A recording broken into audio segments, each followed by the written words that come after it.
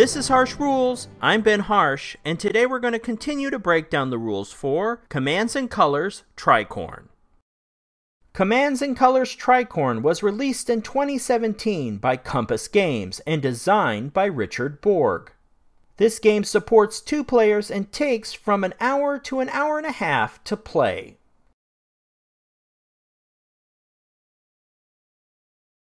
Tricorne's blocks are divided into four types infantry, cavalry, artillery, and leaders.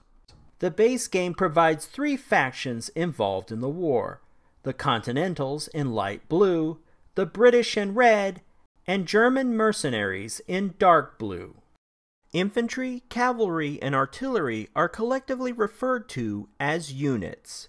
Units are groups of soldiers each having four blocks.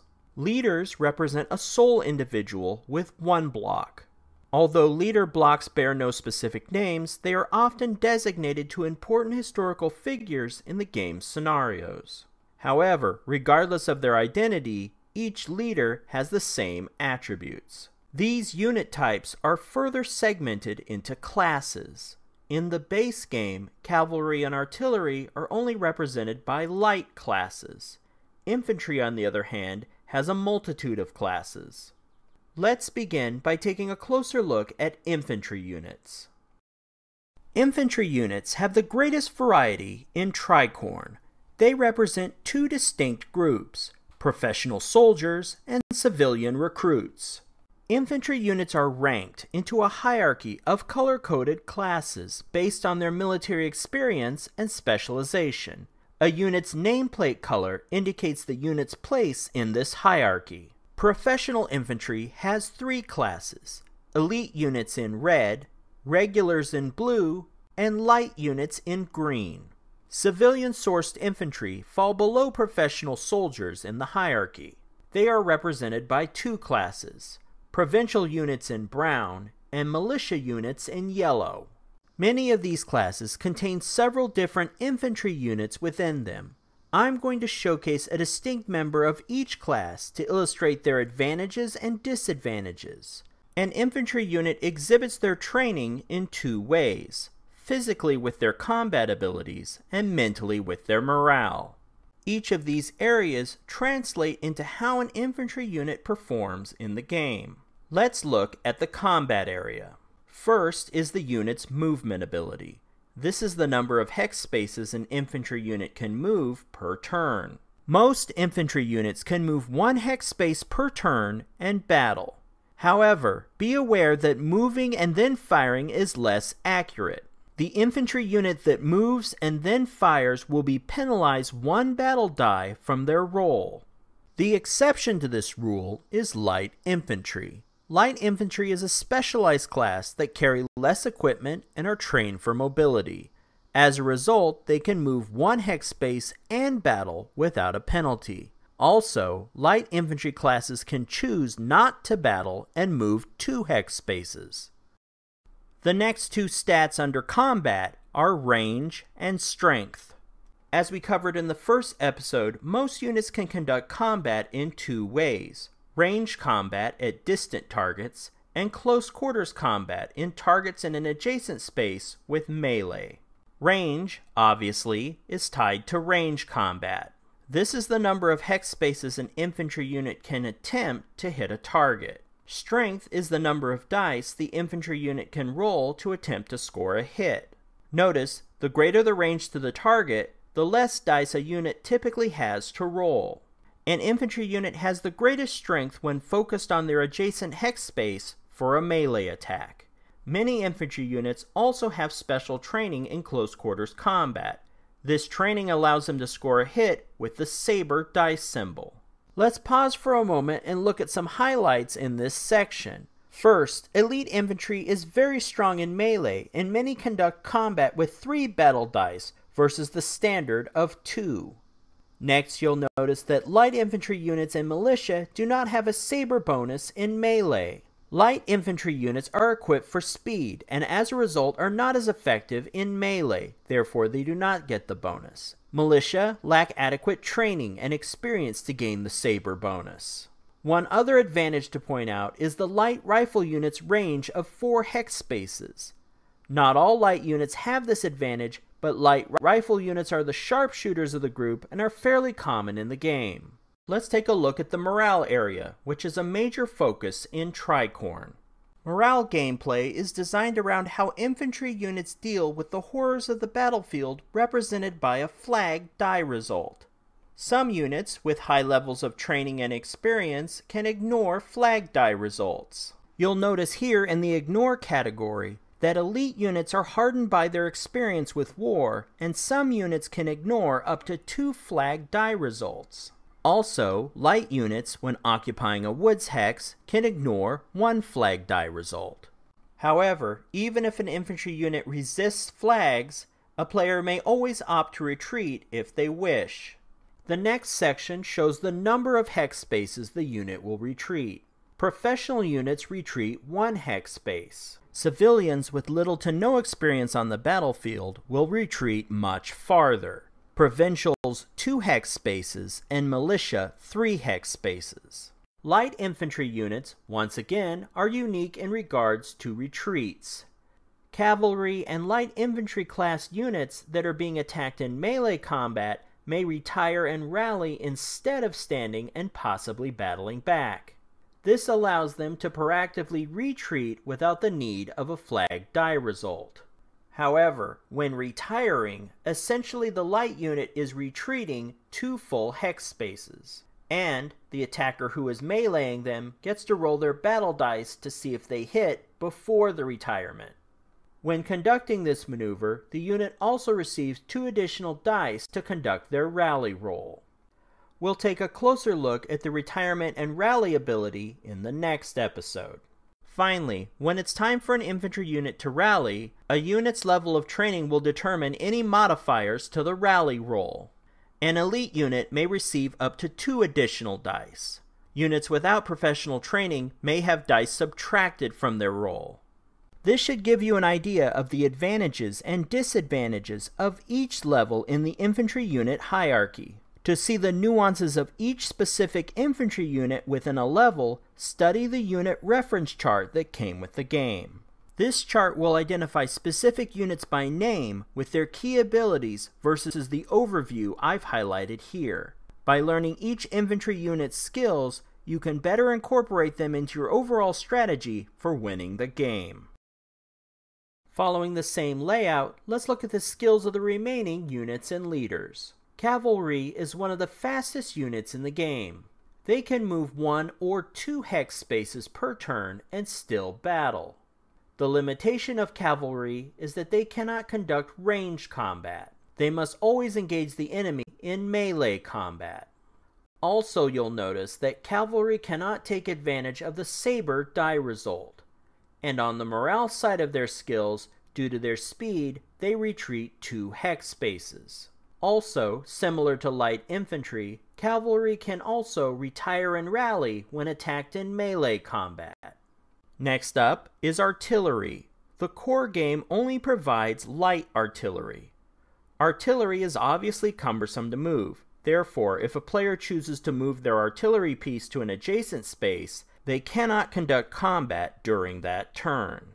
Artillery makes up for this with its impressive range of 5 hex spaces. Also note, like most infantry, if challenged with a flag die result, they will retreat one hex space. Finally, let's discuss leaders. Leaders are unique in that they represent a sole individual. Leaders on their own cannot conduct combat, but when adjacent to or attached to a unit, they can provide bonuses. However, leaders are highly mobile and can move up to 3 hex spaces per turn, this ability allows players to move and apply their leader bonuses easily to other units. For combat, when attached to a unit, leaders add one battle dice to infantry or cavalry. Artillery only receive a bonus when conducting melee. On the morale side of skills, leaders inspire the units they're attached to. This allows their units to ignore one flag die result. Also, they add one additional die when attempting to rally. In the event of a retreat, they can move back three hex spaces. In the next section, we're going to take a closer look at leaders and learn more about their various gameplay actions and effects on units.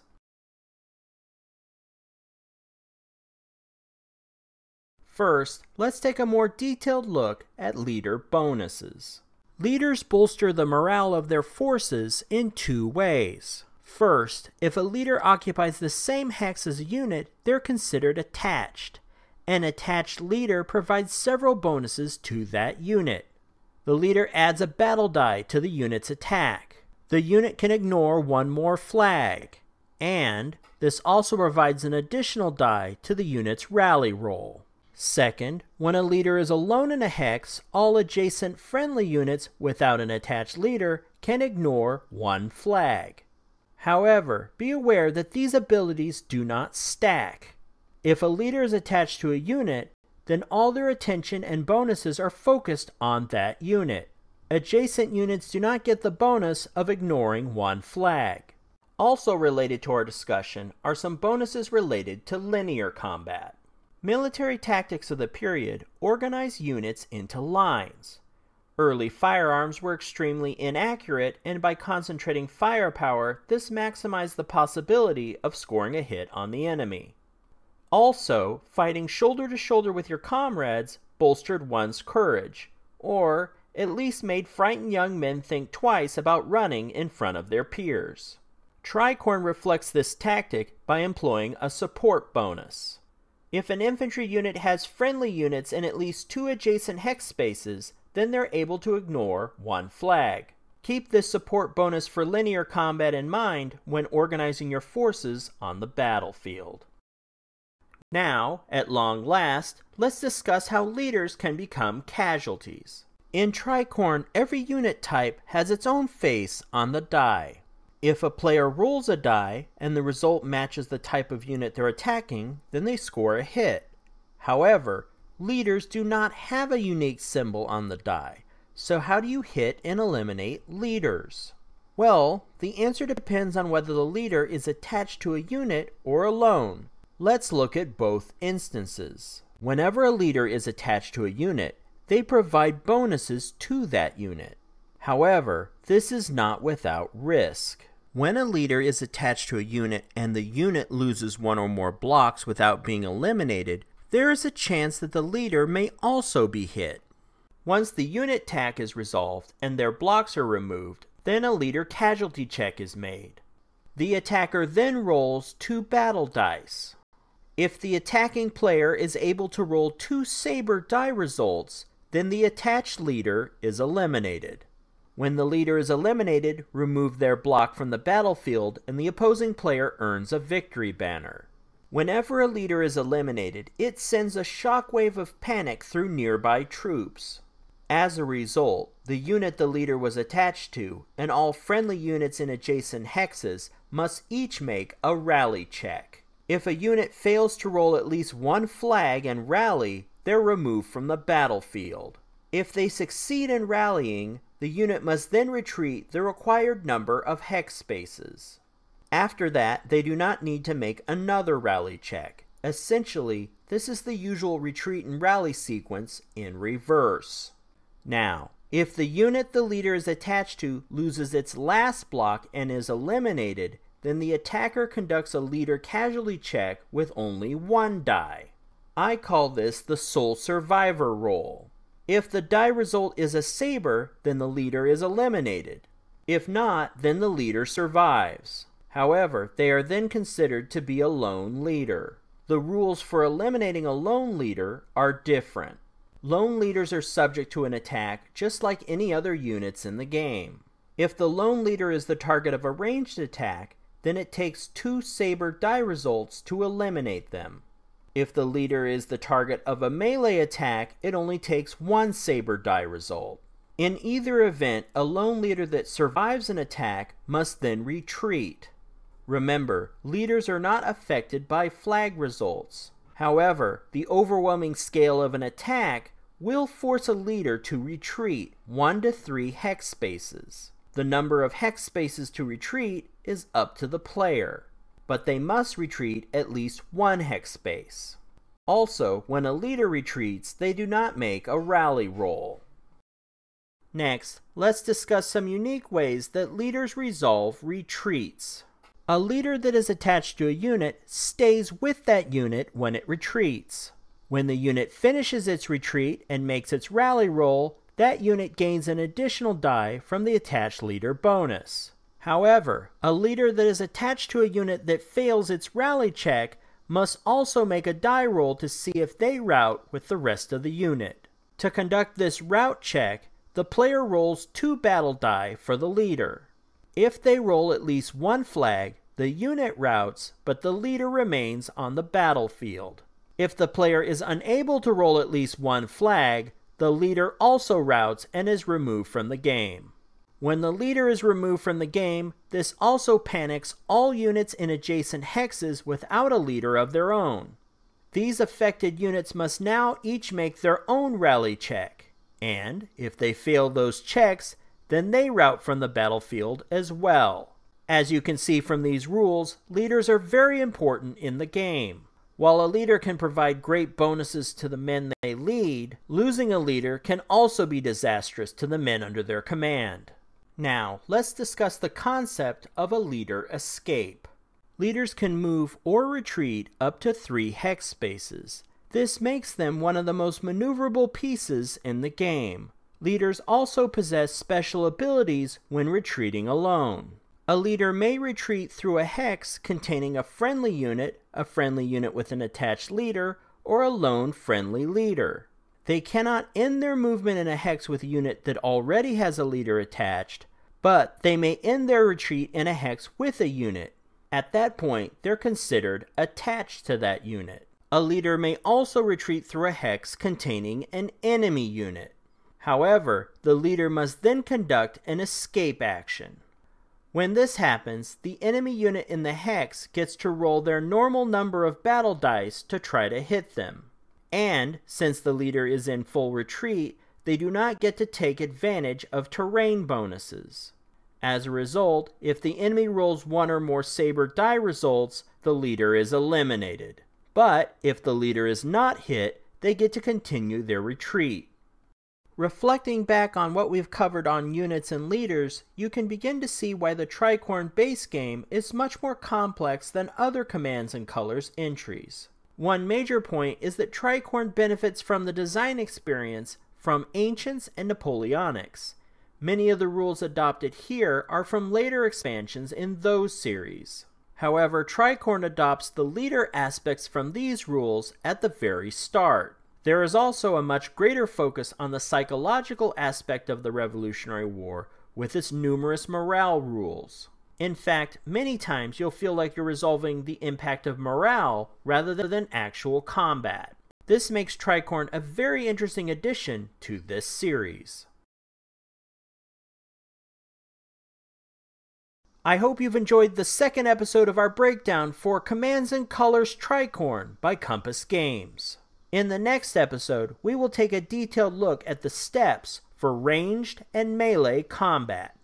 If you found this video helpful, please give me a like and share with your friends.